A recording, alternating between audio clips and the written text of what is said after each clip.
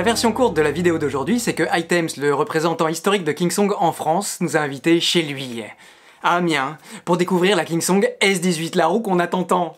Qu'on attend tant.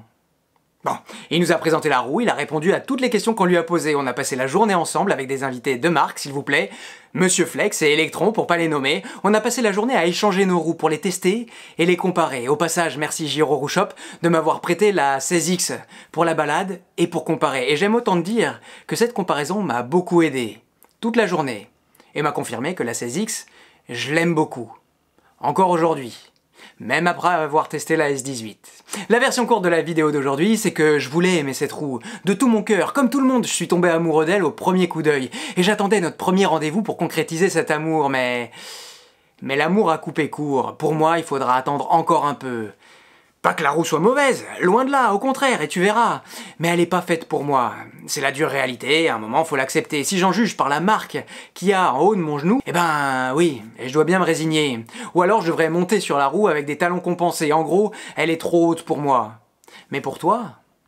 Ah, mon ami, là, pour toi, toi qui es plus grand que moi, là, là, ça va tout changer, oui. Enfin, cela dit, tu sais ce qu'on dit. La taille, c'est bien, mais il y a l'intelligence aussi. Et à l'endroit où ça tape chez moi, je pourrais mettre de la mousse et le tour serait joué. Bon bah voilà. Du coup, euh, balayer le problème de la taille, euh, on peut continuer. La version courte de la vidéo d'aujourd'hui, c'est qu'une fois de plus, je suis désolé, la vidéo va être un peu longue. Mais la roue est tellement attendue que j'ai voulu te dire à peu près tout ce que je savais sur le sujet. Pour t'aider. D'ailleurs, pour t'aider et perdre un peu moins de temps, voilà un menu avec des timecodes où tu peux trouver les rubriques dont je vais parler. Bon, la version courte de la vidéo d'aujourd'hui, c'est que je t'avais dit de me poser des questions et que je vais essayer d'y répondre tout au long de la vidéo. Après, il y aura toujours les commentaires en dessous de la vidéo pour se rattraper, si j'ai oublié quelque chose, par hasard. Bon, la version courte de la vidéo d'aujourd'hui, c'est que puisque je prends le parti de te proposer une version courte de la vidéo, je vais aussi y assumer, et je vais te spoiler toute la suite. Oui, oui, oui. Cette roue, cette suspension, c'est génial. Et je m'en suis rendu compte au moment précis où je me suis lancé à descendre des escaliers, un exercice dont je rêvais et auquel euh, j'avais pas vraiment accès. Et eh ben cette roue-là, elle m'a ouvert la porte.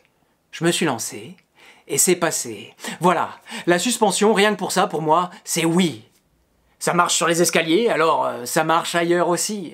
Voilà, maintenant pour la version plus longue de la vidéo et plus détaillée, reste avec moi, et c'est parti Salut à toi Alors aujourd'hui c'est un petit peu particulier d'habitude, quand je te présente une roue, elle est là juste derrière moi, je peux te la montrer. Mais là, c'est hier que tout s'est passé. Oui, parce qu'hier, j'étais à Amiens, au QG de Items. Items, tu sais, c'est les gens qui distribuent les Kingsong dans tous les magasins que tu connais, et depuis, des années. Et on a parlé de leur nouveau bébé, évidemment, tu le sais, la Kingsong S18, qu'on attendait tous, et qui est arrivée sous la forme d'une version bêta. Ça veut dire que par rapport à ce qu'on va voir aujourd'hui, il y a sûrement certaines choses qui vont changer, quelques améliorations qui seront apportées, mais le principal, il était déjà là. Depuis le temps, j'ai envie de dire, euh, youha et pendant toute la journée, on a pu voir la bête de plus près, la toucher, la sentir et surtout la rider.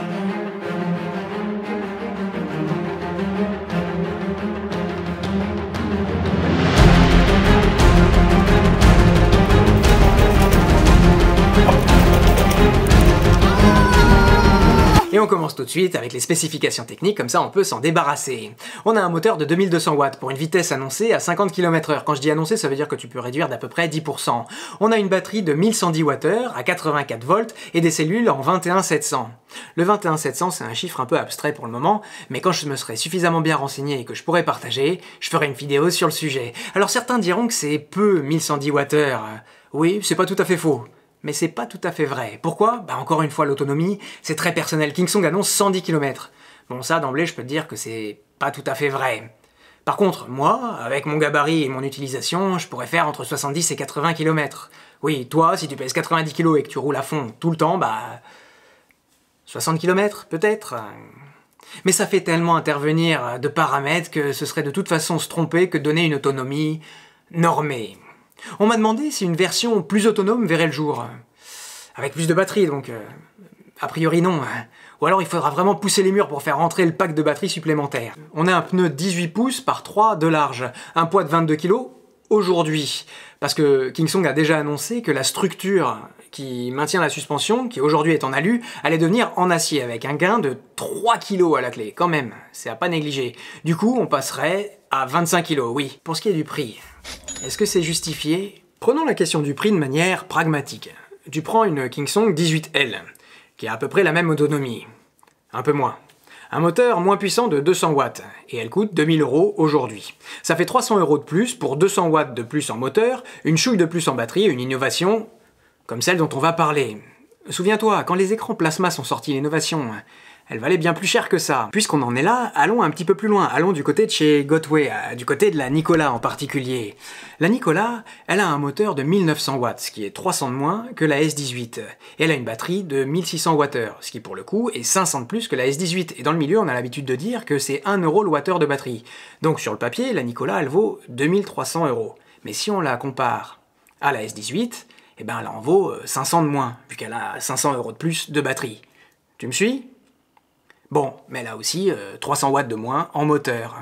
Donc tu vois, soit 300, soit 500, l'un dans l'autre, pour une innovation comme ça, Kingsong, ils sont les premiers à sortir une roue, il y a la recherche, le développement, le marketing, il y a tout qui est nouveau.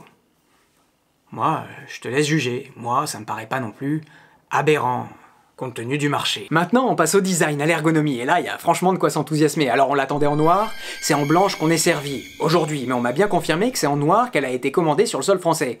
De toute façon, en noir ou en blanche, bah, le design, c'est le point sur lequel tout le monde semble d'accord. Cette roue, elle est magnifique. Point.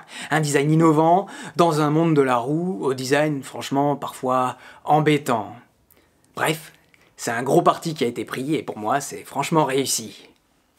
Et je suppose que pour toi aussi. Par contre, euh, par contre, elle est beaucoup plus grosse que ce que j'avais imaginé en voyant les photos. Pourtant, je savais que c'était une S18, mais quand je l'ai vue, waouh C'est un beau bestiau. Et pour moi, tu sais, qui dit euh, grosse roue dit euh, souvent problème de compatibilité. Bah oui, parce que en plus, elle est un peu de cette forme-là. Au niveau des pieds, c'est assez serré. Comme ça, tu peux bien la tenir entre tes pieds. Et en haut, bah du coup, tes genoux, à moins d'avoir les jambes vraiment arquées, bah ça vient vraiment toucher. Comme je te disais euh, dans la version courte de la vidéo, on peut rajouter des mousses et le tour est joué. Bon, est-ce qu'a priori on peut pas changer? Quand on doit monter et descendre de la roue, waouh, on a une marge de 20 cm à monter. Les pédales sont très grandes, c'est super, mais elles sont aussi très hautes. Par la force des choses, vu qu'elles ont besoin d'espace pour amortir, mais du coup, pour moi, ça chasse la roue de la catégorie urbaine, où on aurait pu vouloir la mettre euh, pour pouvoir descendre les escaliers. On va en reparler.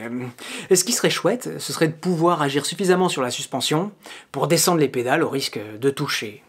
On a un seul port de charge. On a un chargeur 2,5 A, une prise USB. On m'a demandé de décrire l'architecture de la roue. Alors la carte mère, elle est sur le dessus là. Le pack batterie, il y en a deux grands à l'avant, deux petits sur les côtés. Et c'est pour ça que tu vois bien que c'est difficile d'en ajouter. Je t'ai parlé de la forme de la coque de face, un peu en V. Parlons-en euh, de côté. Et eh ben de côté, t'as vu, il y a une espèce de Z pour te mettre en position et avancer. Sauf que, ben, je sais pas sur euh, quelle personne ça a été moulé ça, mais pas sur moi en tout cas. J'ai la malléole qui touche en bas, le genou qui touche en haut, bref. À toi d'essayer. Et pour finir sur l'architecture de la coque, euh, mais elle est trouée de partout cette roue-là. Alors oui, on pourrait y voir un inconvénient, c'est vrai, mais aussi un avantage. Elle est plus facile à nettoyer. T'as déjà été voir à l'intérieur de ta roue, toi? Là, tu sais, mais du coup, tu peux pas passer à côté si elle est encrassée. Et puis, malgré les trous, euh, on s'orienterait peut-être vers une norme IP. Moi, tu sais que ça me plaît. Je me suis renseigné auprès de l'usine et pour le moment, rien n'a été testé. Et on s'orienterait même plutôt vers une IP 54. La différence, c'est que 55, ça résiste au jet d'eau. 54, ça résisterait aux projections d'eau. Maintenant, le trolley. Ah, le trolley, tu sais que ça me plaît. Alors là, il est à 90 degrés. Est-ce que c'est gênant? Franchement, non. Par contre, la poignée, quand elle est complètement baissée, eh ben, impossible de la prendre. Tu peux pas passer en dessous avec ta main. Pour ça, il faut mettre du bout des doigts, appuyer sur le bouton, passer en position que je vais appeler position 1. Là, tu peux la prendre, enfin. Et la porter à tes côtés. Ça tombe bien parce que euh, ça allume le coupe-circuit. La roue arrête de tourner. Du coup, tu passes par la position 1, tu arrives jusqu'à la position 2, et là, tu peux la faire rouler à tes côtés. Pareil à l'inverse, hop, tu passes de la position 2 directement à la position 0, parce que si tu passes à la position 1, eh ben t'as le coupe-circuit qui se met et la roue qui commence à balancer. Et ça, ça fait que moi je peux pas la mettre dans la catégorie des urbaines. Euh, moi, tu sais ce que c'est une urbaine? C'est je rentre dans un magasin, je baisse le trolley, je prends le trolley, je ressors du magasin, je monte le trolley, je monte dessus, machin, je prends les escaliers.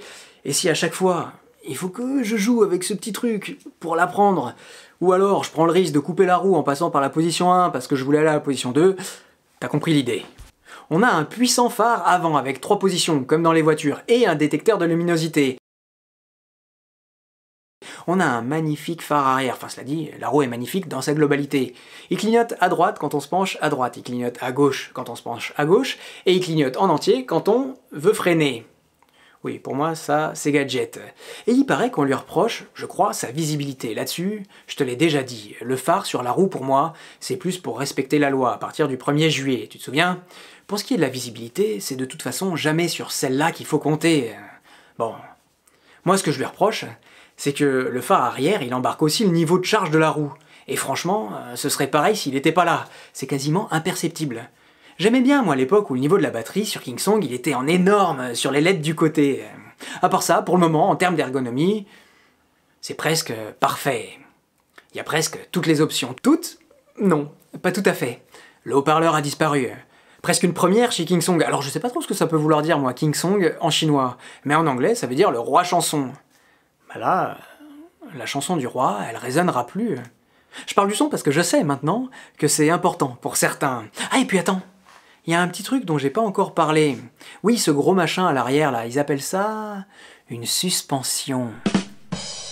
Alors parlons de cette suspension avant d'aller rouler. La suspension, elle est magnifique, elle est vraiment bien intégrée et participe entièrement au look de la roue en entier, impossible de passer à côté. Pour le côté technique de la suspension, je vais te mettre dans la description de la vidéo un commentaire que Raphaël Fujiwara, merci à lui, m'a laissé sur une autre vidéo. Et il est on ne peut plus clair. Non, puis entends, je vais te le lire, parce que franchement, il est super. Pour la S18, c'est simple, c'est pas un amortisseur en direct, mais déporté avec un rapport de réduction effectué via une biellette. Donc, pour 10 mm de débattement au pédale, on a 57 mm de débattement à l'amortisseur. Le point technique important, c'est où se situe la masse importante de la roue. Et là, on peut observer deux méthodes. Chez InMotion, on suspend que l'utilisateur. Donc tout le poids de la roue elle-même, batterie, contrôleur, phare, feu, coque, n'est pas suspendu. Alors que chez Kingsong, on a l'utilisateur et la masse la plus importante de la roue, batterie, contrôleur, phare, suspendu. Ce qui est beaucoup plus intelligent, parce que oui, l'idée c'est que la partie non suspendue de la roue soit la plus légère possible, pour pouvoir réduire l'inertie et pouvoir faire en sorte que la roue se déplace rapidement pour épouser l'obstacle. Pour donner un exemple, une bagnole, on a bien tout le châssis, le moteur, les trains, la boîte, tout. Tout est suspendu, il n'y a que les roues et les triangles qui ne le sont pas. Bah la InMotion, c'est comme si les suspensions étaient au niveau de ton siège mais que la bagnole en elle-même, elle n'était pas suspendue. C'est pas très intelligent, hein. surtout avec quasi 30 kg, t'imagines, au moment où il y a un trou, ça va taper euh, vraiment salement. Voilà, ça c'était le retour de Raphaël Fujiwara, merci à lui, beaucoup. On notera que la suspension, elle n'est pas fabriquée par Kingsong. Ils ont pris des suspensions qui existent déjà, des DNM. Et alors j'ai essayé de me renseigner, j'ai appelé tous les magasins de VTT de la France, et j'ai fini par en trouver un qui connaissait un peu.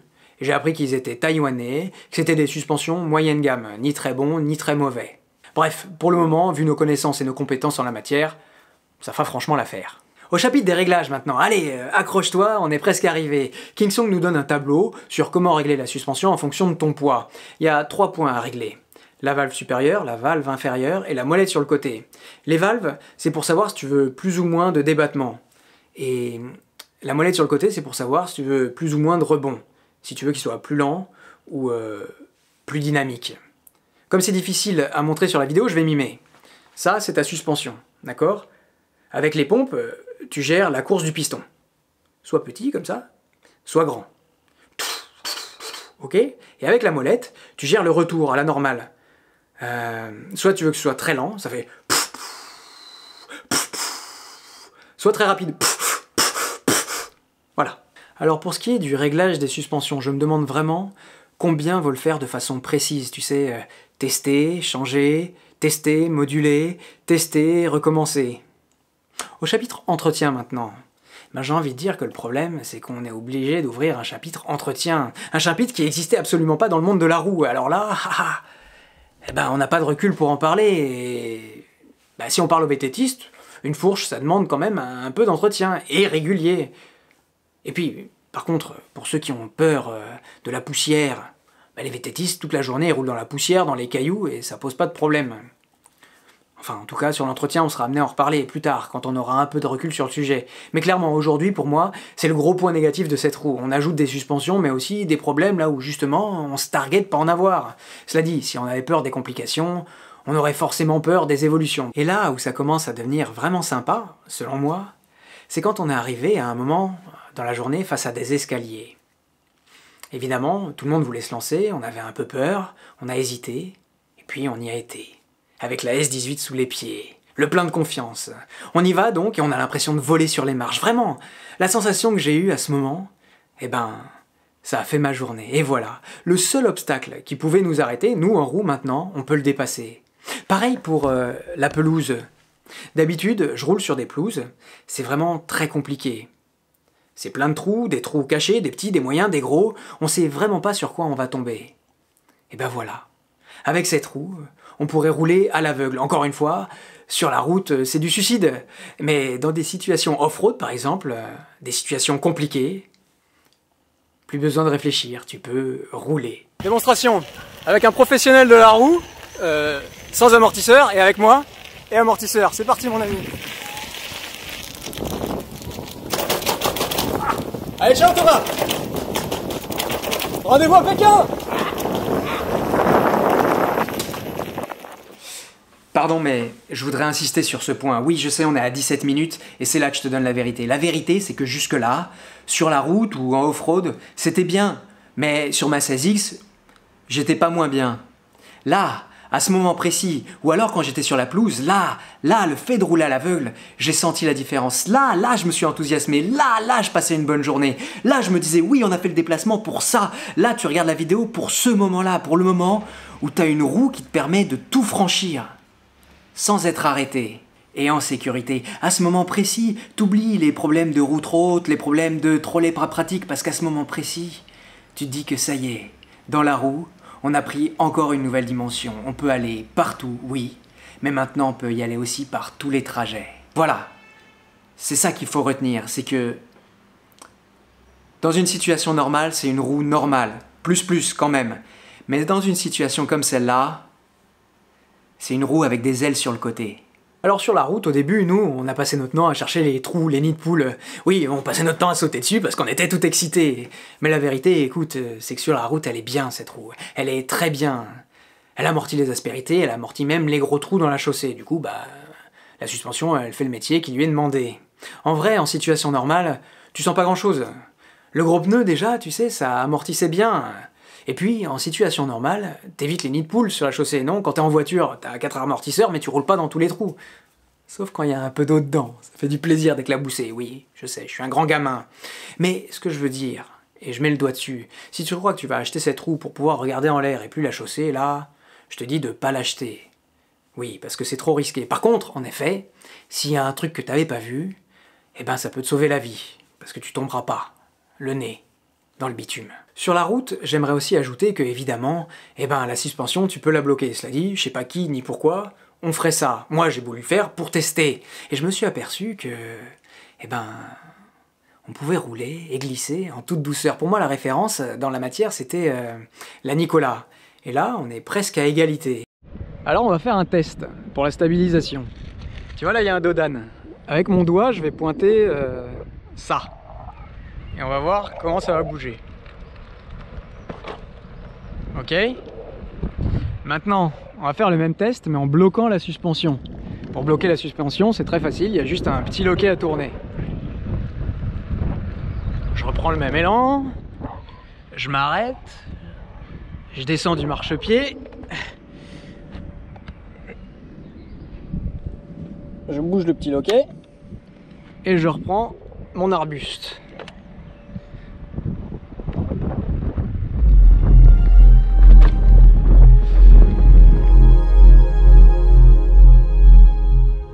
Est-ce que la suspension nous gêne dans les virages? C'est une question qui m'a été posée. Non. Ni de loin. ni de près. Est-ce que la suspension, ça évite les problèmes aux articulations, au dos, aux genoux? On n'a pas besoin de chercher très loin pour savoir qu'un trajet avec suspension, c'est plus confortable qu'un sans. Pour ce qui est du débridage, oui, encore une fois, la question m'a été posée. On m'a demandé, alors je réponds à la question en rappelant quand même que c'est interdit d'avoir un engin débridé. Un engin capable de dépasser les 25 km/h sur le sol français. Eh ben, ça se fera dans l'application, une nouvelle application Kingsong à télécharger. Et avant de conclure, je voudrais répondre à moi la question que je me posais. Est-ce que cette roue, cette S18, va envoyer toutes les autres roues au placard? Bah pour moi, je t'ai déjà répondu, bah non. Non, ne serait-ce que pour une question de gabarit, euh, de centre de gravité. Je rêverais de me dire Youpi, cette 18, c'est ma nouvelle roue. Mais non. C'est une super roue. Mais une 18 pouces. Et une 18 pouces, euh, bah, pour beaucoup de gens, ça fait beaucoup. Elle joue dans la cour des Nicolas, comme j'ai pris en référence beaucoup. Et des 18L, euh, enfin des roues hautes, quoi. Moi, j'attends que King Song la décline en 16 pouces. Et alors là, alors là, oui, j'appellerai tout de suite mon banquier. Ce qui veut dire intrinsèquement que si toi t'aimes les grosses roues, les 18, bah, tu peux commencer à composer. Enfin, un mot avant de conclure euh, sur sa principale concurrente, en vrai, sa seule concurrente. Tu l'as bien compris, euh, la V11 de chez InMotion. Eh ben pour moi, on est dans la logique du marché. Avec la S18, il faudra des réglages précis, il faudra bien se renseigner, passer du temps à vraiment régler. Alors que pour la V11, il y aura deux pompes et ce sera terminé. Cela dit, ce que tout le monde dit, c'est qu'il faudra bien gonfler les, paumes, les pompes à égalité. Ça, pour le moment, je sais pas. J'ai pas testé. Et une petite chose encore, avant de conclure. Est-ce que euh, cette suspension, c'est la révolution? Eh ben moi, je dirais que non. La révolution, on l'a déjà. C'est la roue. La suspension, c'est une belle évolution. Cette roue, c'est une belle prouesse pour aujourd'hui et pour demain une belle promesse. Enfin, voilà, je crois que maintenant on a fait le tour de cette roue qu'on attendait tous et que maintenant on connaît. Pour ce qui est de la conclusion, la voilà, on a une super roue pour s'amuser et pour rouler, une super roue des pistes et des routes, une super roue des champs, des forêts, mais pas des petits appartements au cinquième étage sans ascenseur, tout ça. Non, cette roue pour moi, c'est vraiment pas une urbaine, définitivement, malgré les escaliers. Allez, merci encore Items, merci Maxime de nous avoir invités, d'avoir partagé. Merci Kingsong aussi pour cette roue du futur qu'on a au présent. Merci pour le pas en avant, merci pour la recherche et le développement. Merci Kingsong de nous avoir montré que vous vous intéressiez encore à nous et au futur de la roue. Allez, je te dis à la semaine prochaine pour une nouvelle vidéo et un nouveau sujet. D'ici là, tu peux liker la vidéo, la partager et même tu peux penser à t'abonner. Postscriptum. Alors si t'es encore là maintenant, c'est que t'es un abonné, un vrai, un fidèle, un impliqué. Pour tout ça, du fond de mon cœur, je te remercie. Parce que tu sais, moi, la vidéo, je la travaille en entier. J'y mets du mien jusqu'au bout. Et ça fait plaisir de savoir que je suis pas complètement tout seul, à la fin, à parler. Même si la réalité, c'est que quand même, je suis un peu tout seul à parler. Mais c'est pas du tout ça le sujet du postscriptum, non. Euh, je voudrais t'inviter à aller t'abonner à ma page Instagram parce que je me suis aperçu qu'il y avait des informations qui étaient beaucoup plus faciles à faire passer par Instagram plutôt que de devoir faire une vidéo sur YouTube euh, en entier. En l'occurrence, la S18 là, au moment où je te parle, elle est en rupture de stock. C'est bien, ça veut dire que les précommandes ont bien marché. Et il se pourrait que pour le réassort, eh ben, euh, alors je dis peut-être, je mets des parenthèses, des guillemets, et je l'écris en gros sur l'écran, peut-être je pourrais avoir un lien affiliation euh, à te proposer. C'est-à-dire euh, que toi, tu pourrais avoir une réduction et moi, une participation. C'est chouette, non? C'est chouette si ça se fait, c'est chouette aussi si ça, ne se fait pas, parce que ça veut dire qu'après trois ans d'existence, cette chaîne, enfin, elle commence à évoluer. Et ça, j'oublie pas, c'est grâce à toi. Pour ce qui est du lien d'affiliation, ce serait une bonne manière. Euh, de m'aider à faire mes vidéos sans perdre ma liberté. Oui, je pourrais continuer à dire tout ce que je pense sur les roues, sur les objets, euh, sur euh, tout un tas de sujets qui concernent la mobilité, a priori, oui. C'est vers ça qu'on est en train de glisser. Et je crois que j'en ai terminé. Oui, non, je voulais dire aussi que j'aimerais, et ça, je vais m'y tenir, et ça, c'est sûr, parce que ça, vient, ça tient qu'à moi, je veux faire des vidéos plus courtes, parce que là, j'en peux plus. J'ai pas dormi de la nuit, on s'est levé à 4h matin hier, je suis au bout du rouleau. Euh, mais tu t'en fous de tout ça, la vérité. Euh, non, non, je vais pas partir. Euh, je voulais juste finir en disant que typiquement, si tu vas sur Instagram, ça me permettrait d'ajouter des informations sans avoir à ajouter deux minutes de vidéo en post-scriptum à la fin d'une vidéo qui en fait déjà 25. Maintenant, j'allais terminer. Allez.